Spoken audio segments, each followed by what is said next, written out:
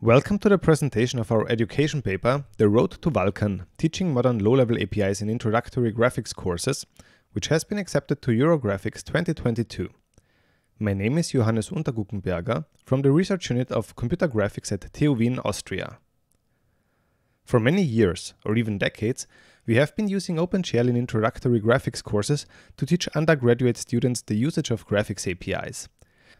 The course I am talking about today is our students' first contact with graphics APIs. It is their second encounter with rasterization.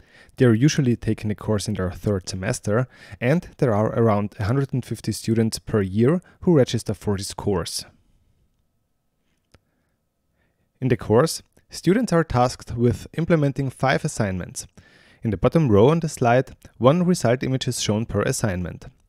In assignment 1, students implement basic setup such as creating a window and a render loop. Assignment 2 is about transformations, implementing a camera and calculating view matrices. For assignment 3, geometry is to be created, stored in buffers, and streamed as vertex input to graphics pipelines for drawing it. Assignment 4 is all about shader programming, such as implementing lighting in vertex and fragment shaders. Assignment 5 adds sampling from textures to these calculations. In the last winter term, we offered our students an alternative to OpenGL for the first time.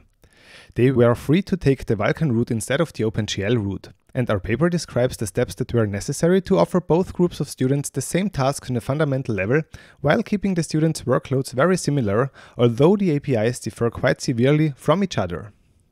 Let us take a look at the fundamental differences between the two APIs. First H, while the first version of OpenGL has been introduced almost 30 years ago, Vulkan just turned 6.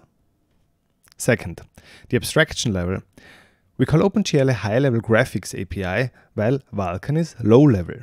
OpenGL requires much more complex drivers than Vulkan because Vulkan abstracts less of the hardware and leaves more control to the programmer, which usually also means that more code needs to be written for Vulkan. Third, in terms of API design, OpenGL is a big huge state machine which tracks global state, that is, by today's standards, considered a really bad design in general and is especially problematic in multi-threaded applications because that global state would have to be manually synchronized across different CPU threads. Vulkan, on the other hand, has been designed with parallelism and flexibility in mind from the ground up. Fourth, in terms of hardware abstraction, it could at best be stated that OpenGL is close to ancient hardware. However, such kind of hardware has become completely irrelevant nowadays. Vulkan abstracts modern hardware very closely, and by that I mean all different kinds of devices ranging from powerful desktop GPUs to energy-efficient mobile GPUs to embedded devices. Fifth, and related to the previous points, the insights that are conveyed by using OpenGL are concepts of the past, which, to a great extent, no longer apply to modern hardware. While just by using Vulkan, many valuable insights can be gained about the actual mode of operation of modern graphics devices. Lastly, I'd like to point out that both APIs are maintained by the Khronos Group, which is great because that means both are open standards and many big companies, such as GPU vendors but also many many others, are collaborating to define and maintain these two APIs.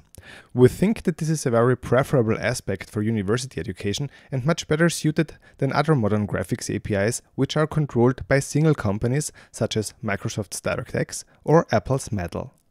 The four differences in the middle of the slide are what makes Vulkan much better suited for a modern and sustainable approach of teaching graphics programming in introductory graphics courses.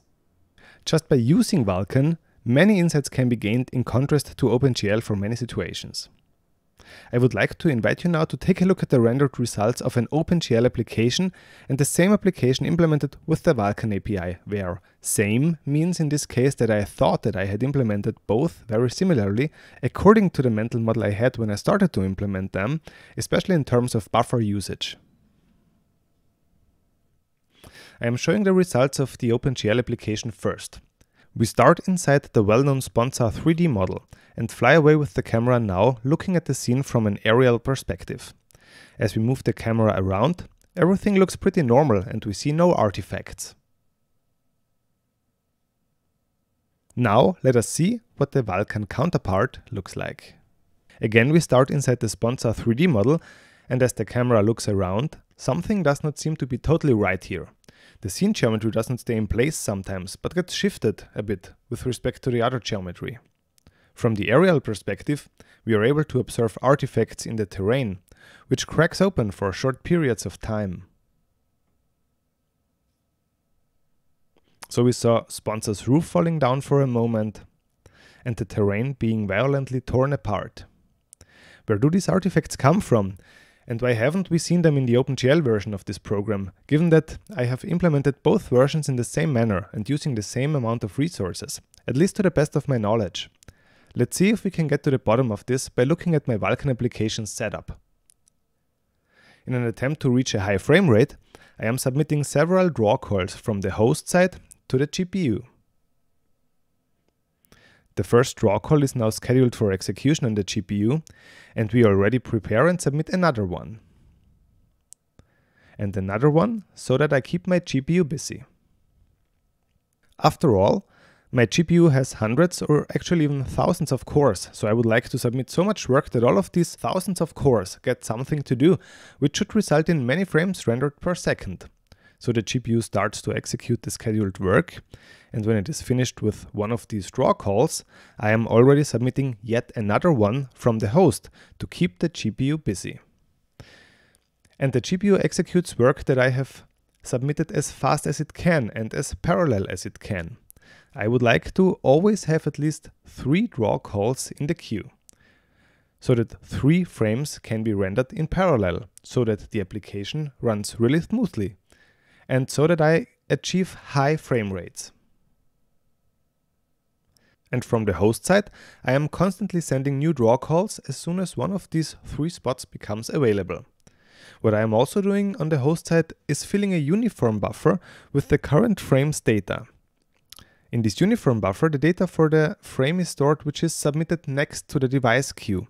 Most importantly, it contains the next frame's camera's view matrix. So data is copied from the host into that uniform buffer just before submitting draw call 7 to the GPU. The appropriate data state for draw call 7 is indicated by red color on these slides. Draw call 7 is submitted to the GPU, and when the GPU starts to execute its workload, it reads the red data from the uniform buffer during its execution. And on the host side, I am already preparing draw call 8, which needs different per frame data indicated by green color.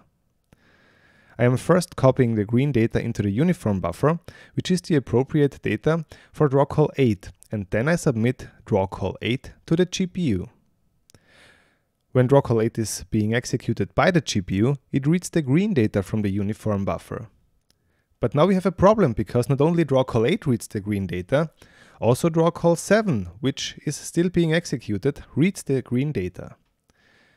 Both draw calls are processed by the GPU using the same data when I actually intended different data for each of them. And once again, I am uploading the data for the next frame, which is draw call 9, this time indicated in blue color. Draw call 9 has been submitted to the GPU.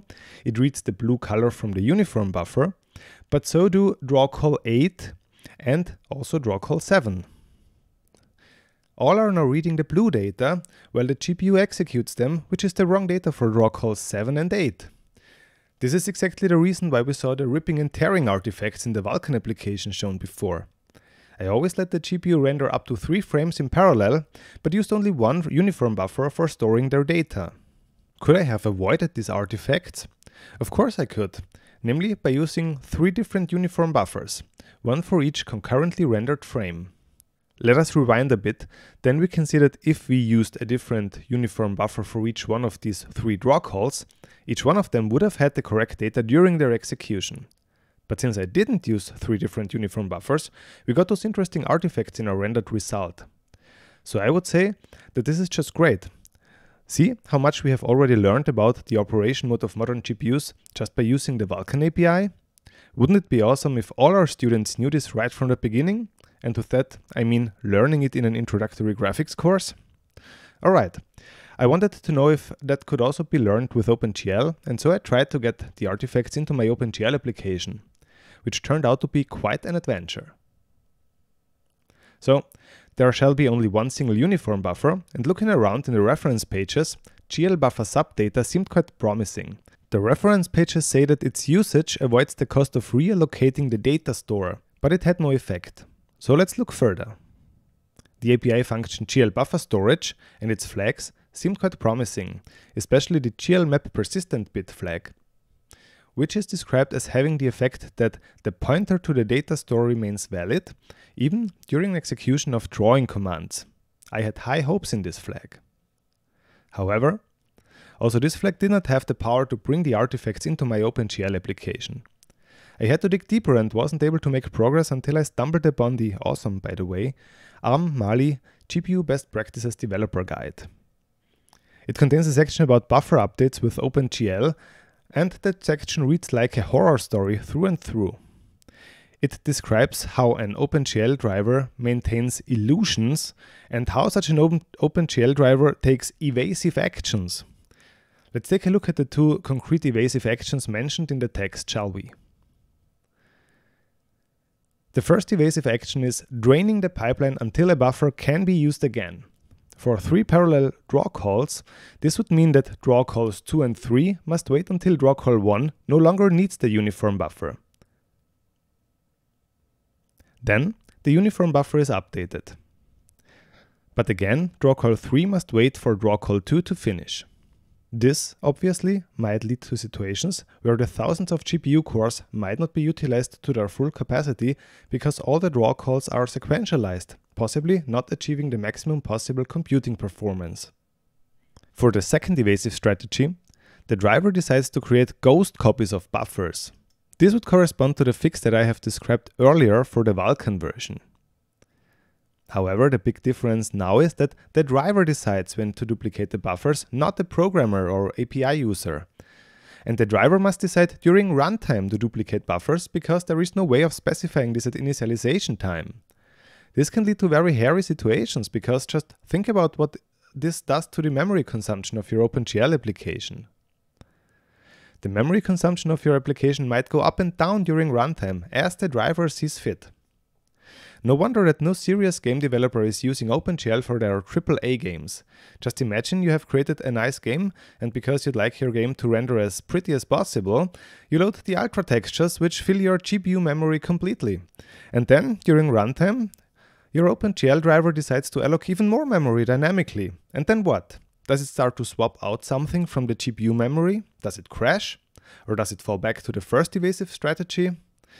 In any case, I would argue that is bad, because programmers have lost control to some degree.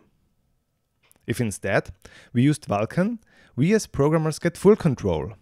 Yes, this also means that we have to take care of memory management manually, but actually this is a big advantage if we get serious about graphics development. More control can never be bad. And in terms of learning, getting more insights can never be bad. But for now, back to our OpenGL adventure. With the help of the Mali developer guide, I was finally able to get the artifacts into my OpenGL implementation. Turns out that there is really one flag in the vastness of OpenGL that has the power to give me my desired artifacts by not taking evasive strategies. Key to achieving this was a flag that can be passed to glmap buffer range, namely glmap unsynchronized bit.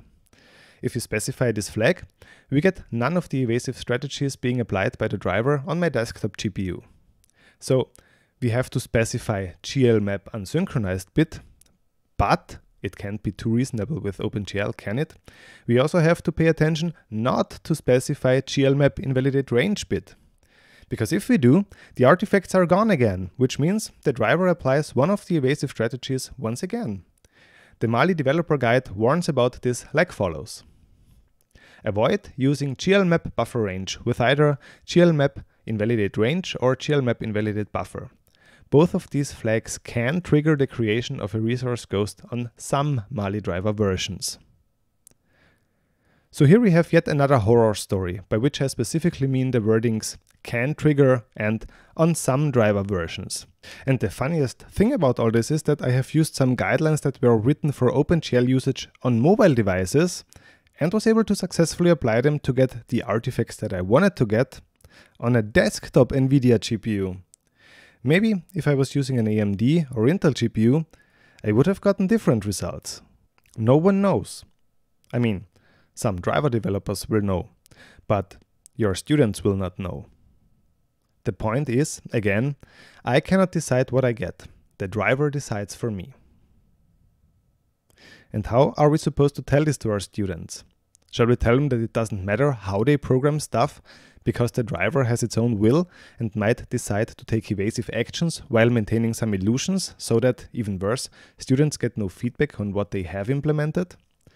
Let me ask you, aren't we telling our students that university education can help them to take control of their lives?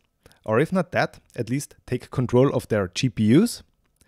If we encourage them to use OpenGL, then we even take that from them. I would like to add one more point here, namely motivation.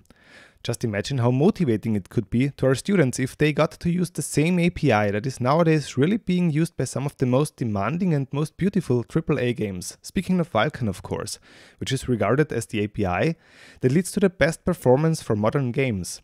At least that's the impression that I got lately. So by using Vulkan, our students not only use cutting edge technology, but also an API that is indeed really relevant in the industry right now. That, by the way, finally bridges the gap that has been there between academia and the industry for such a long time. If we switch to teaching Vulkan on universities, our students all of a sudden get to use an API that is great in terms of learning how modern GPUs internally work, and also an API that is highly relevant in the industry. This is the best of both worlds, which prepares our students in the best way possible for their future careers. Teaching and learning Vulkan, however, requires some changes on how we approach it.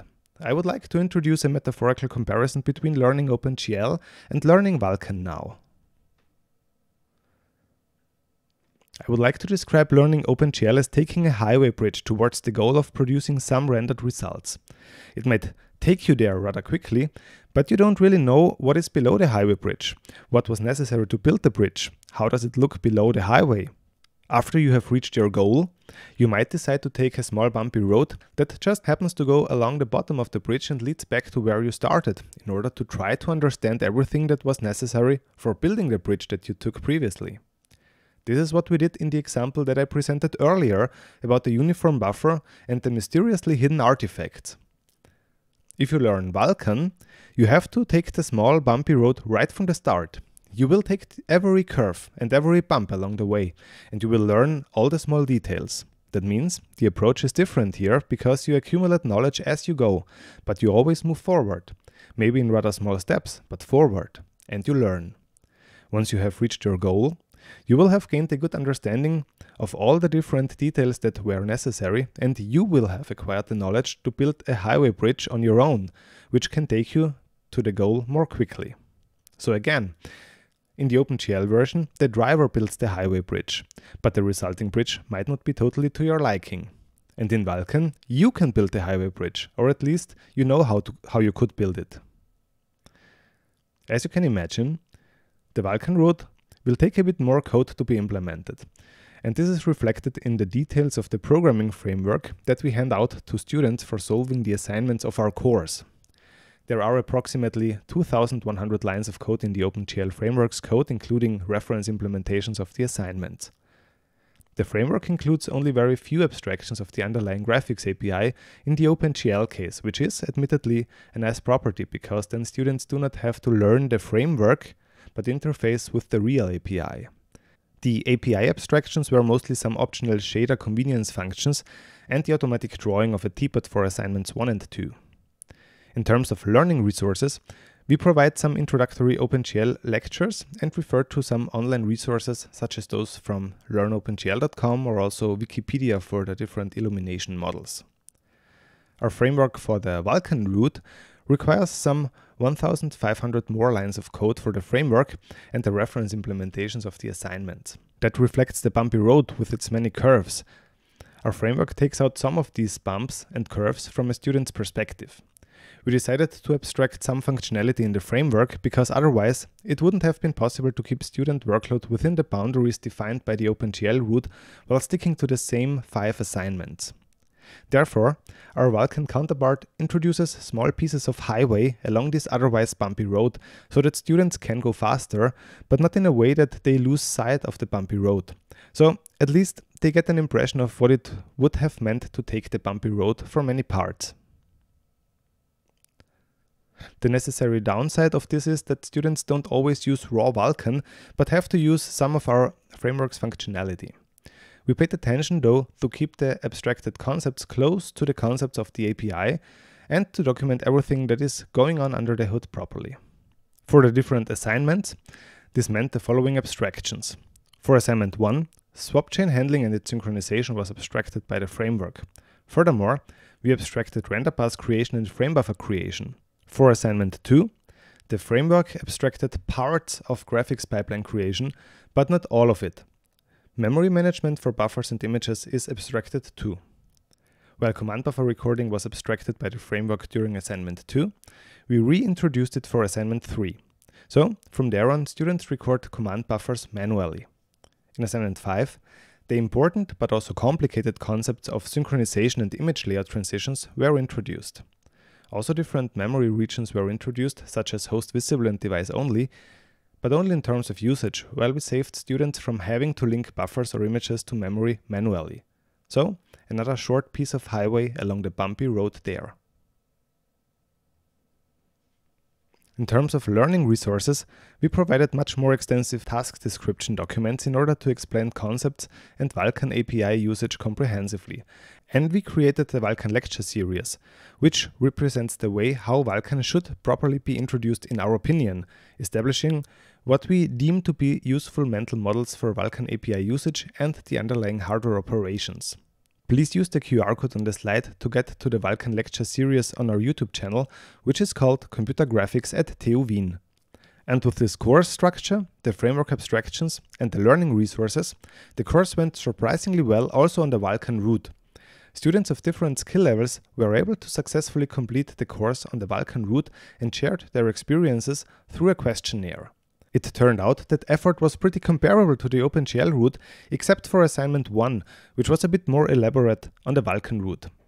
This is something that we still have to improve before the beginning of the next winter semester, when the course will take place the next time. And with this, we have reached the end of my presentation about the road to Vulkan in university education. We have seen that there are different roads to be taken when teaching and learning graphics programming with an ancient high-level graphics API or with a modern low-level graphics API. The big advantage of the latter is that you, the programmer, are in the driver's seat at all time, which means that you will learn a lot and get a deeper understanding about the underlying operations of a modern GPU. We have shown that it is totally possible to teach Vulkan in introductory graphics courses and describe the pathway to transitioning from OpenGL to Vulkan. More details about the course structure, the framework and its abstractions, and detailed evaluations of our students' feedback can be found in our paper titled The Road to Vulkan Teaching Modern Low-Level APIs in Introductory Graphics Courses. We wish you all the best for your teaching endeavors in visual computing, hopefully with a modern low-level graphics API such as Vulkan, and we thank you for your attention.